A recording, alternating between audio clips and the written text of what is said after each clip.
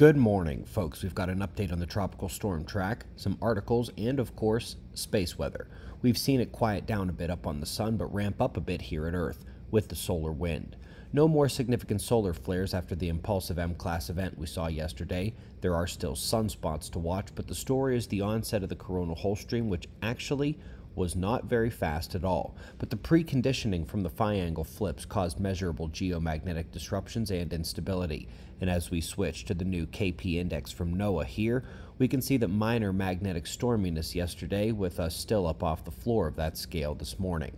The sunspots to watch are the same ones as before, the big umbra, but with little flaring potential at this time. It's actually surprising we even got that one flare yesterday, given the lack of central umbra between those big ones. Folks, the forecast hasn't changed much for the tropical storm.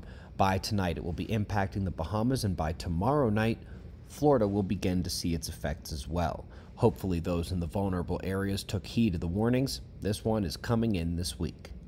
Aesthetic piece up next by the SVS as the biosphere is tracked by satellite over the last five years. Chlorophyll in the ocean, vegetation on land. You'll recall chlorophyll was expected to be in trouble by now with climate change, but it simply continued to thrive.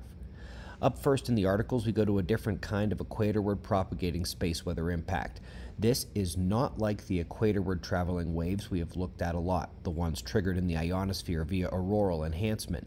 Instead, these are much thinner pulses of brightness in the aurora, auroral streamers, which appear to represent enhanced particle precipitation along the north south magnetic field lines, rather than the full ring wave propagating southward, just another way that solar energy is injected well beyond the polar region.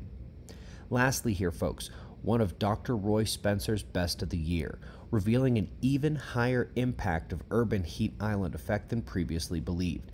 This is where a sizable piece of the so called global warming comes from false data from the abundance of weather stations in artificially enhanced hotter urban areas. Global warming, even less than what we're told.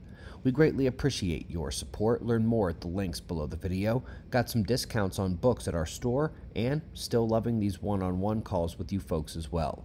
Subscribe, and we'll do this all again tomorrow, right here, but right now it's 5:30 a.m. in the new Valley of the Sun. Eyes open, no fear. Be safe, everyone.